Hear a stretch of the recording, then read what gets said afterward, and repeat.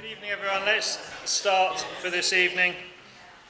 We'll open with a word of prayer, then we'll have some worship, and then we'll get into our Bible study this evening. Well, Heavenly Father, Lord God, we just come before you now. We ask your blessing uh, upon this time, Lord. We pray that you would minister to our needs. We pray that you would meet with us. Uh, in Jesus' name, amen. amen. Feel free to stand.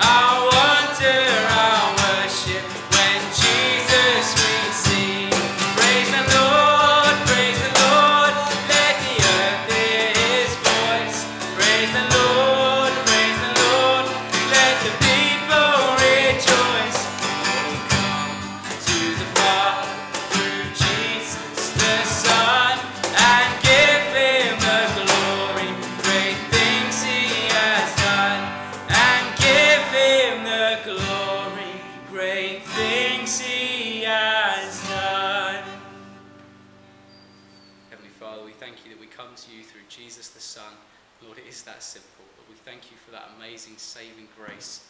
And Lord, that the vilest offender could come uh, and be your Son. Lord, if he truly repents, Lord, we thank you for that gift in Jesus Christ that we have. Lord, thank you that we have reason to celebrate and be joyful. We thank you and we praise your name this evening. Lord, would you grow your church through your word. In Jesus' name. Amen.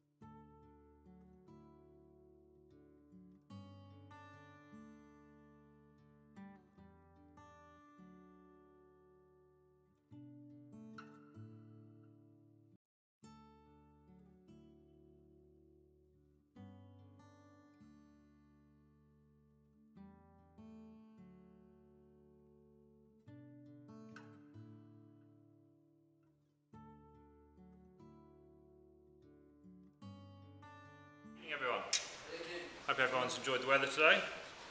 Very nice. If you've been at work, you probably haven't, sorry. Um, Isaiah chapter 19. Let's open our Bibles to Isaiah 19. I'll do a quick recap of what we did last week and then we'll carry on through Isaiah 19. It's quite a long chapter, but we are going to just read quite big chunks of it before we do that. Let's pray. Heavenly Father, we thank you, Lord, now as we just open your word again. We pray that you'll speak to us. We pray that you, uh, you'll show us your truth, Lord, and that you would reveal your Son to us in even greater ways, even through this text, Lord, as we speak on the subject of Egypt tonight. In Jesus' name.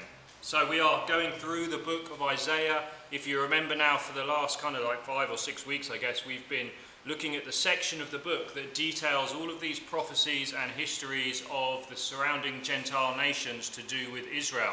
We've seen many of them. Last week, we dealt with an unusual one, the Cushite Empire, or the Ethiopian Empire, the Ethiopians. And we did a, a brief survey of some of the history of the Aksum kingdom, which is the, the great Ethiopian kingdom that existed at this time that most people don't know about. Uh, it was a very powerful kingdom, and I shared with you some of the interesting history about uh, some of the Ethiopian, uh, they still believe it today, traditions that exist today, uh, namely that when the Queen of Sheba visited Solomon, who was an Ethiopian, she went to see King Solomon and uh, was amazed by all of his wisdom but the Ethiopians today also believe that uh, she came back pregnant and she gave birth to King Menelik I, who is the first of the Solomonic dynasty of the Ethiopian kings. And they take that quite seriously. The Ethiopian kings only died out at the end with Haile Selassie, and uh, that's the, the man who the Rastafarians worship as God. And you can see that it's a very interesting history, obviously quite confused in many ways, but quite fascinating in many ways too. And then we looked at another famous Ethiopian who went to Jerusalem. We kept seeing this theme that Ethiopians are going to flock to Jerusalem and meet the king. This is what will happen in the kingdom. This is what the Queen of Sheba did. This is also what the Ethiopian eunuch did in the book of Acts. Do you remember that? If you read that narrative carefully, you'll realize he'd just come, well, he'd just been to Jerusalem and he was, was on his way out of Jerusalem where he stopped and he started reading a particular book of the Bible. He was reading the prophet Isaiah and he was reading about the king. And he did meet the King of Kings there. The Lord, the Holy Spirit, had a disciple there named Philip who was told to go and explain to him who he was reading about. So it seems to be that when these Ethiopians go to Jerusalem, they meet the king. And that's kind of what we spoke about a lot last, uh, last time. The idea was basically the warning of the prophecy of chapter 18 is to the Israelites do not make an alliance with the Ethiopians. Although they were quite a friendly kingdom to Israel, the point was you don't need to make an alliance with this uh, Gentile nation. You should just be trusting in the Lord, and that would be enough. The Assyrians won't be able to take you. I made the point, remember, we saw it quite a few chapters back. The Lord had already promised that the Assyrians would not take Jerusalem.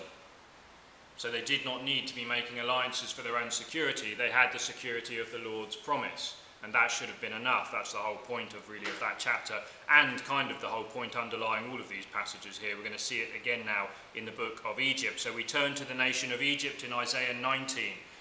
Uh, Egypt, one of the most talked about nations in the Bible, really, uh, especially as their history interlocks with Israel right back from the beginning. Of course, they were the oppressors of the Israelites in the book of Exodus and they initiated four separate wars against Israel in that period, uh, well, the following years in the Bible. Uh, they're he featured heavily in the narrative of the Bible. And interestingly, modern Israel is no different. If you go from 1948, when Israel became a nation in the land again, just like it was in the ancient times, the nation of Egypt was right, right there ready to attack, and they have actually also fought four wars with Israel since coming into being. 1948, the War of Independence, Egypt and their allies attacked. 1953, the Suez Canal debacle, that was Egypt and Israel, 1967, the Six Day War, that was, of course, Egypt. Again, 1973, the Yom Kippur War, that was Egypt, al along with others, obviously.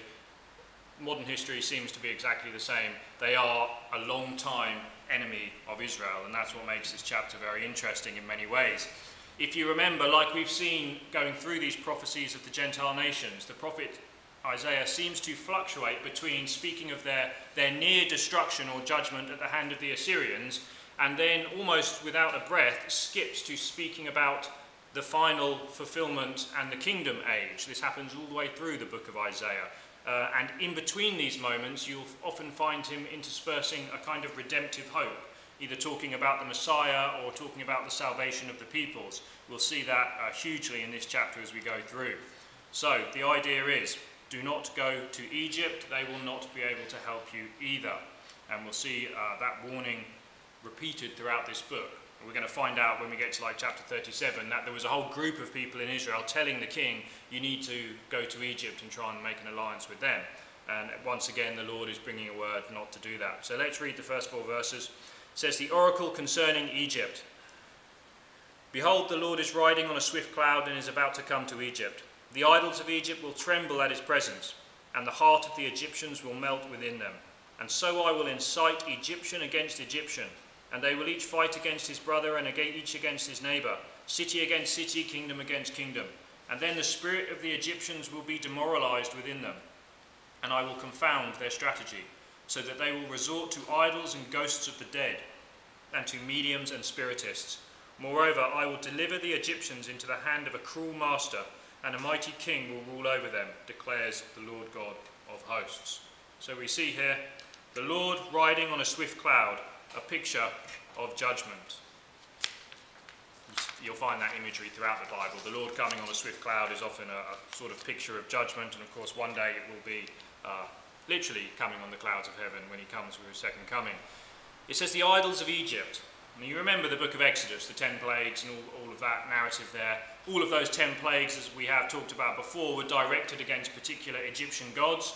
They worshipped the water, they worshipped the Nile, they worshipped frogs, they had lice god, they had all sorts of different things. No nation was so gripped in idolatry as Egypt. And they had serious dark arts going on in Egypt, uh, real occult stuff going on, um, as they, you can see here as they turn to the spirits of ghosts and spirits of the dead.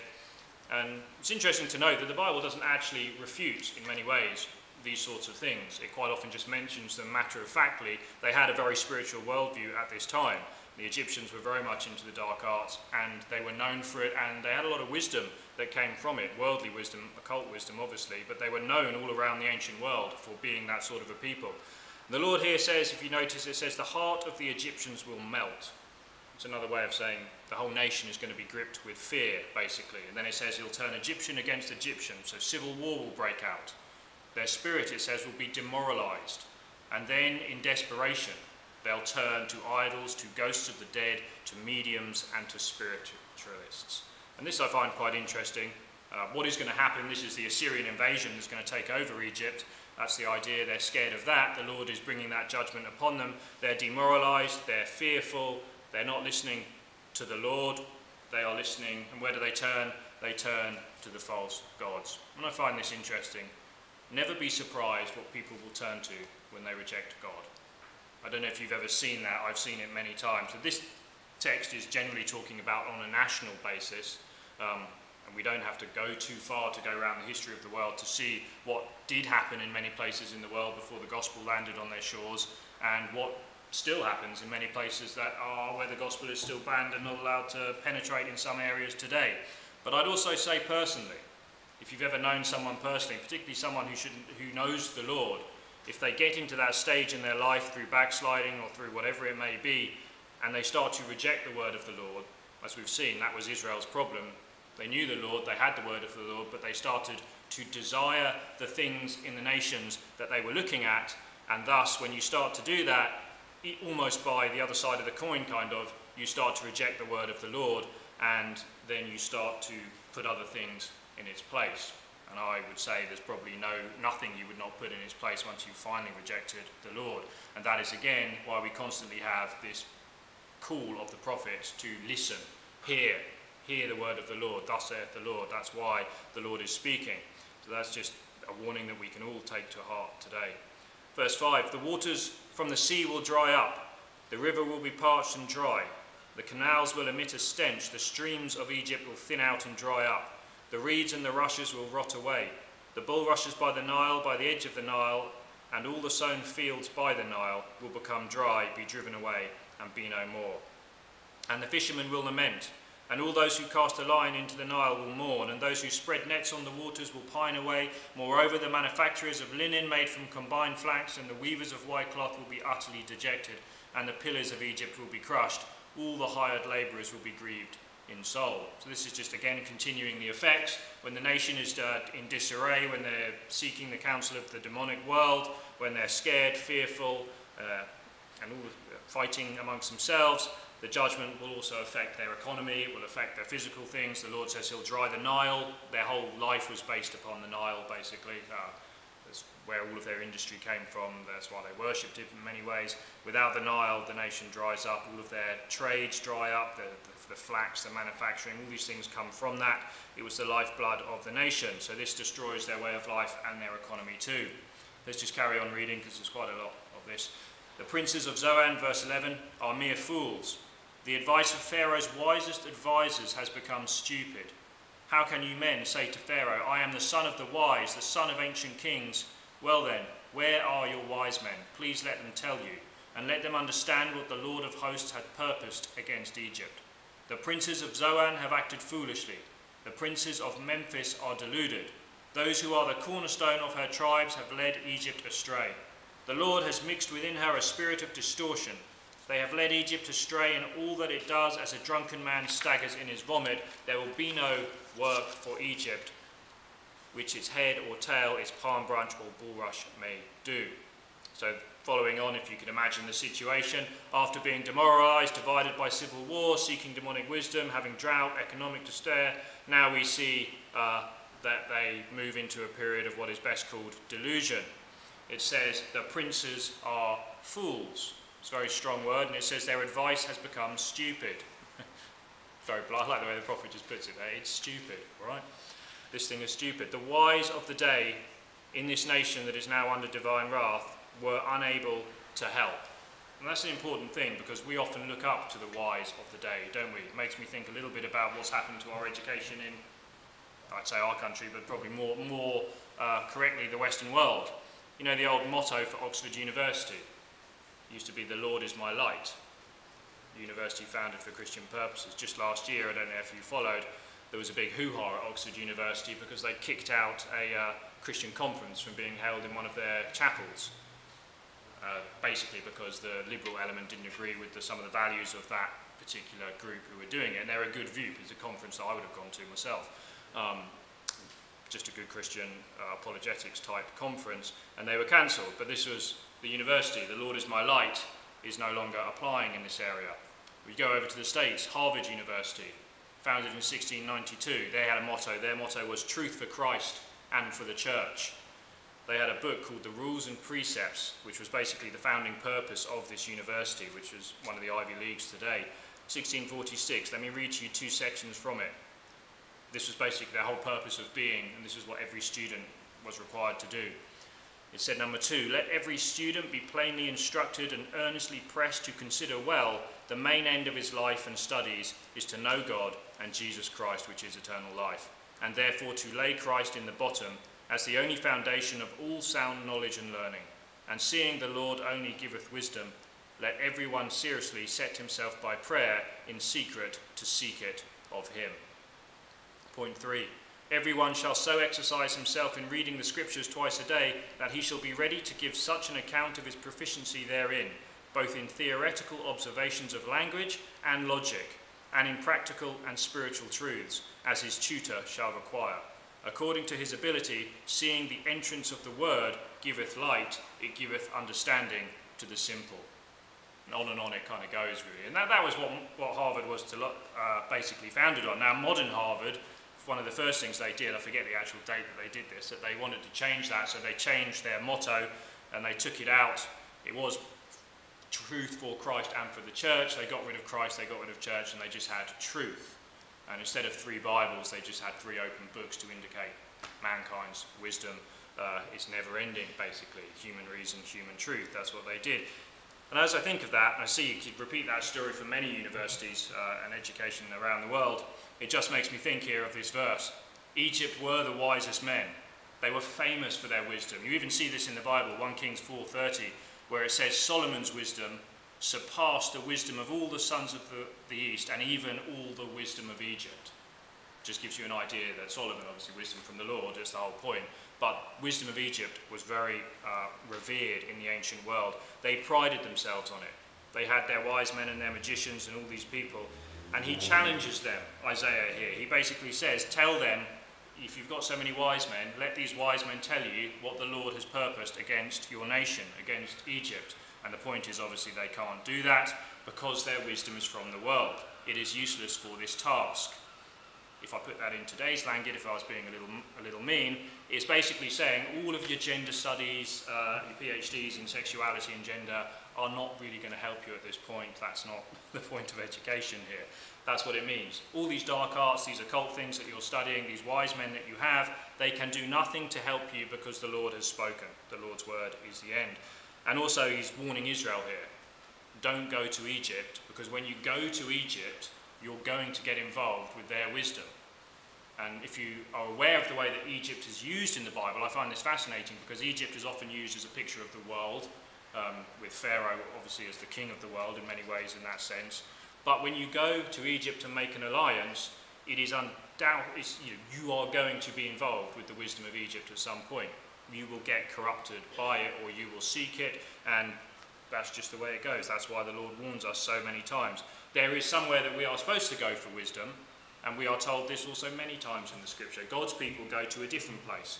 And I'm not talking about wisdom in the sense of practical skills that people might have in the world or just things that are general knowledge in the whole world. This is obviously referring to uh, wisdom in the sense of combining the spiritual and the physical together into our worldview. But we go to the Lord for wisdom and counsel, don't we? And if we don't have wisdom, it says in the book of James, we ask God for wisdom. It says the fear of the Lord is the beginning of wisdom, and we find this revealed in his word. And that, I believe, is the thought behind these chapters here. Don't go to Assyria, don't go to Ethiopia, and now don't go to Egypt. None of these big, powerful nations, with all of their strength and their glitz and their glamour and all of the things that they offer, none of them are going to help you because they're about to be judged. That's the whole point. So now we move pace in the text. I mean, it seems like we look into the future a little bit here. And you can pick up on this, like all the prophets do. They use that expression, in that day, which is often used to speak of that future day. In that day, the day of the Lord, or in that day, sometimes referring to the millennium. And hopefully, as we read through, you'll see why I believe this is giving a little glimpse into the future. It says, verse 16 In that day, the Egyptians will become like women, and they will tremble and be in dread because of the waving of the hand of the Lord of hosts, which he is going to wave over them. The land of Judah will become a terror to Egypt. Everyone to whom it is mentioned will be in dread of it because of the purpose of the Lord of hosts, which he is purposing against them. So it says Egypt will be afraid, not, not of the Lord per se, but it actually says of the land of Judah. This is referring to the people of Israel. The people of Israel will become a terror to Egypt. Even the mention of their name will bring great dread to Egypt. It's kind of similar to the Exodus narrative. If you read the Exodus narrative, narrative in the book of Exodus, you'll find that in the end, after all the plagues, the people were just like, the Egyptians were like, get out of here. Take all, this, take all of our stuff and go, just please leave. They were fearful of the Israelites. Now, for most of Israel's history, except for that brief period in the Exodus, but for most of the nation's history, they've really been in the shadow of Egypt. They were, they were a small empire sandwiched in between the big Assyrians and the Egyptians on the south, the Assyrians on the north, and these big other empires, it's basically saying at some point that is going to be reversed. And you can see a glimpse of this even in modern Israeli history. If you read many of the narratives about the Six Day War and about the War of Independence, the Egyptians became very fearful because they outnumbered the Israelis almost 10 to 1 in tanks and aircraft and weapons and soldiers and everything. They were so outnumbered, but yet every battle the Israelis won. And it ended up sort of having like this, you know, there were dramatic stories of divine interventions throughout those wars. And that travelled around the, the Near East to the point that a few years after the last attempt that they had in 1973, where they, the Egyptians were beaten, they made a peace treaty with Israel. And I find that quite, quite interesting. And they have actually had a peace treaty with Israel ever since. Doesn't mean they're friendly, but they, they have abided by that treaty.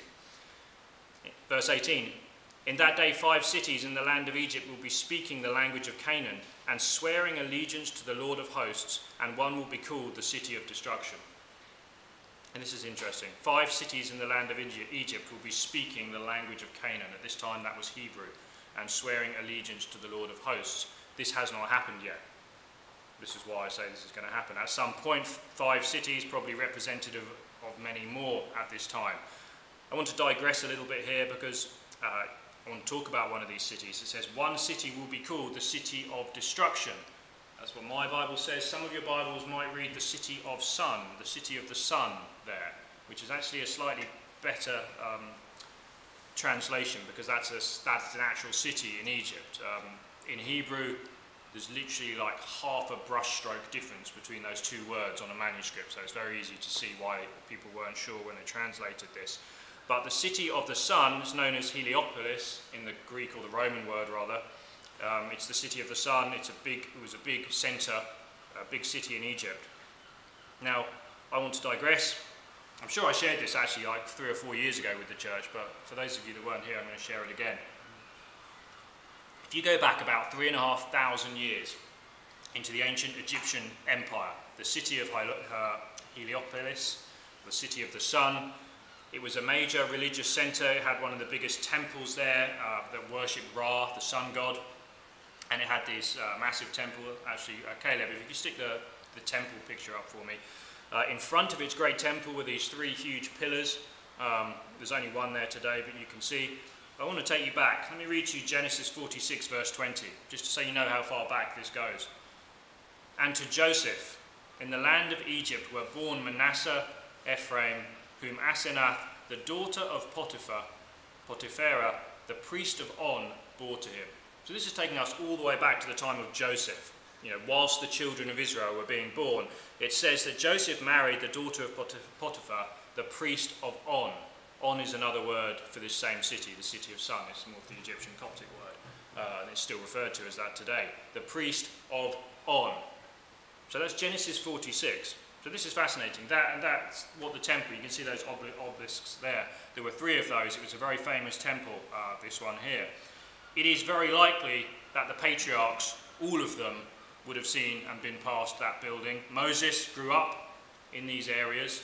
He most definitely would have known about the temple dedicated to Ra and would have seen it. Most of the Israelites would have too. Later in its history, Alexander the Great conquered this area. He stopped in this city, and during his reign, actually, it flourished. It was a great seat of learning.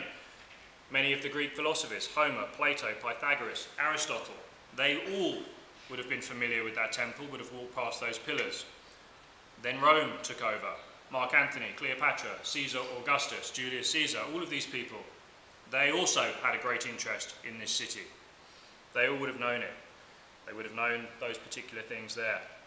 Then around 1400 years uh, later, this was during the time of the Romans, there were three pillars originally. There's still one there today, as you can see. The Romans took the other two pillars and they moved them up to Alexandria in northern Egypt, which was where they were sort of making their capital at that point, a good place. So they moved two of these pillars up there.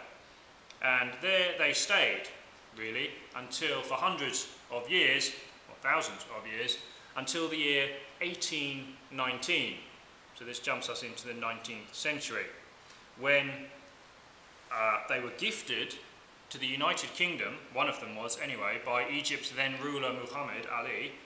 Uh, this was basically to congratulate him. This was the time when Lord Nelson won uh, a, a battle there when Napoleon was trying to take over Egypt. The British intervened and they won a battle at this place. And as a gift, uh, the ruler of Egypt gave one of these obelisks to the UK. And just remind you, this is one of these obelisks that dates back three and a half thousand years, of which most people are pretty certain our patriarchs would have been familiar with and would have seen. And it stands now, if you can ever see it, if you go to the next picture, Caleb, if you've ever been on the banks of the River Thames in London, that is in fact the obelisk of the city of the sun mentioned here in the book of Isaiah that dates back three and a half thousand years, that Moses, that Joseph, his wife, the patriarchs Mark Antony, Cleopatra, Julius Caesar, Aristotle, Plato, Pythagoras, all would have known about and would be familiar with. I don't know about you, but I thought you could walk past that in London and have absolutely no idea how far that dates back into history and the sort of things that that thing has seen. It's quite amazing. And what's even more uh, uh, curious and interesting is when it came, obviously, in the 1819s, that was sort of the height of the Christian, Victorian, evangelical kind, kind of era. One of the things that they did when they put it there is they decided to put a time capsule underneath it. Sure I've told you this before, but one of the things that they put in the time capsule was they had a whole committee from the Bible Society choose a Bible verse that would get put in that time capsule underneath this Egyptian obelisk that is an obelisk dedicated to Ra, which interestingly enough, the sun god. And one of the, the verse that they chose was John 3.16.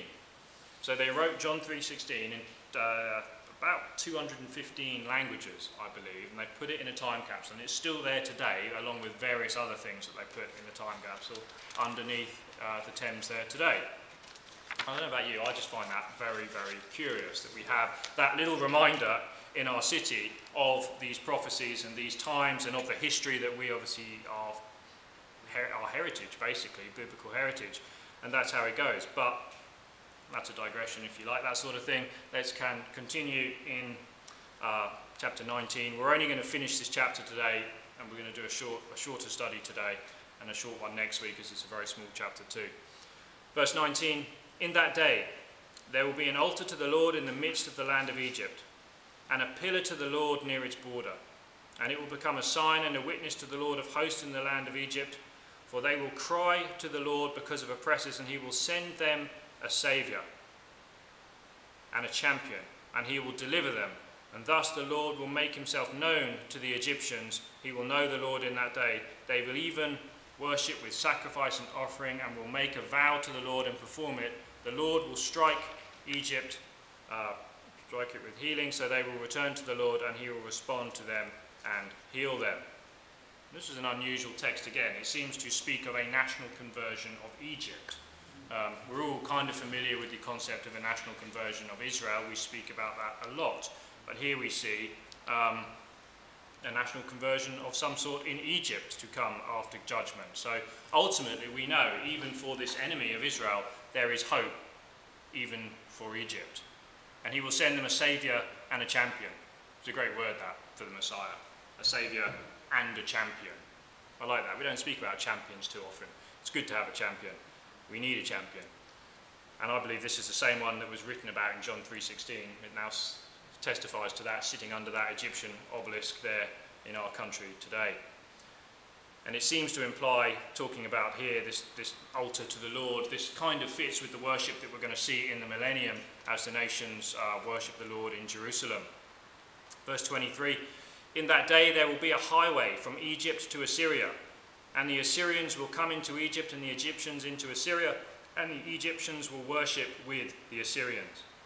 In that day Israel will be the third party with Egypt and Assyria, a blessing in the midst of the earth, whom the Lord of hosts has blessed, saying, Blessed is Egypt my people, and Assyria the work of my hands, and Israel my inheritance. So in the future, it seems to be saying here that there will be peace between these ancient enemies, a highway from Egypt to Assyria. Now they did have this historically, there was a specific trade route that would link all of these three nations. It's not there today, it's been closed off and their borders are all closed in these areas today, and they still are basically enemies with Israel at this time. But it seems to be implying that a day will come when they are turning to the Lord, and in that future day, they will actually be traveling along the road together, worshipping the Lord together. Now, that's quite a statement when you think about that. Egypt, Egyptians and the Assyrians, these two ancient enemies of Israel, will in fact be traveling up to Israel in order to worship the Lord at some point. And again, this fits with the, the millennial period as we know it. And notice he says, Blessed is Egypt, my people. Now that's a very unusual phrase. Nowhere else in the entire Bible is that phrase used of any nation except Israel. This is the only exception that we have here, and we don't really know why. Maybe it's because Israel, uh, Egypt has such a long-running history. They're one of the first oppressors of Israel that we see in the Bible. And in, in that way, I find it quite amazing. It speaks of the universal blessing that will come to the world in the kingdom age. You see, what we're seeing here, although God is giving judgment, he also is giving grace at this time. And the future is one of hope for Egypt if they turn to the Lord. The grace here reaches even to the worst sinners, it reaches even to the enemies of God. What does grace do? Grace sends a Saviour and a champion to this world. And grace brings reconciliation between nations, people, and their God, and thus through that it also brings reconciliation between neighbours, brothers, sisters, whatever it may be, relationships. Grace also brings unity in worship, as we see there, these three nations joining together to worship the Lord. And grace brings blessings to others, because as we shall read as we go further, this whole thing actually impacts the entire world as they are worshipping the Lord at this time. So, as we will close there, to be honest, tonight, because that's the whole chapter. One of the things that, as I was really dwelling on, how does this apply for us today? And we see what the Lord does in the midst of these things, sending a champion, sending a saviour, sending his grace to bring people to himself, to reconcile to himself, to bring unity between broken relationships, to even reconcile enemies, nations that are just bitter, uh, have hatred one another going back for thousands of years. God's grace sorts that out, and now we see them travelling together. That's God's grace that does that. And one of the ways that I think we can apply this to ourselves today is to just ask ourselves are we also vessels of God's grace now? Because that is one of the things we are called to be. That is one of the purposes of the New Testament church to bring God's grace to this world. And if we are, we should see similar sorts of things happening. We should be ones that tell of a Saviour.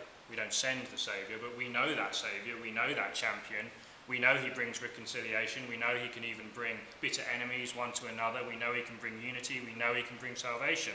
And ultimately, we know he will bless the world. And often, I think, well, I know in my own life anyway, there are times when you don't really feel like you are a vessel of God's grace like that. Uh, for me, I think it's because the world just fights us on that, doesn't it? It tries to get in our way at every single turn. Every single thing that we have seems to be pushing us away from that. And this is why it's so important that we actually heed the underlying message of this entire chapter and the ones that have gone preceding it, which is the Lord has already spoken. You need to trust his word. All these other places, Egypt, Assyria, Ethiopia, they're going to come and they are going to offer great help great assistance. It's going to be very logical sometimes. It's going to seem like the best thing to do, but when you take that, it'll mean you've walked away from the Lord, and thus you can't be a vessel of grace in many ways. Now, I say that in one sense. Obviously, we know in the ultimate sense we're all trophies of God's grace towards us because none of us are worthy of what God has done for us, and all of us fall short probably on a daily basis, if, I, if, if we can all be honest with ourselves, and we should interact with the grace of God because of that on a daily basis, which means we should take that verse to heart where it says we forgive much because we are forgiven much. We are forgiven daily, aren't we, as Christians, when we come before the Lord? Every day we need to come before the grace of God and really uh, understand what it is, and thus we're ready to be vessels of grace, and we should pray and expect to see these things happen. Amen. Let's pray. Heavenly Father, we do thank you, Lord, for your wonderful word. We just pray that you continue to teach us and instruct us, Lord, that we would be better ambassadors for you. We do pray that we would be rooted in grace, that we would understand your grace, and we pray that we would be vessels of your grace to all of those around us, Lord, that they may glimpse the Saviour through us, Lord, if you give us that privilege. In Jesus' name. Amen. Amen. Um,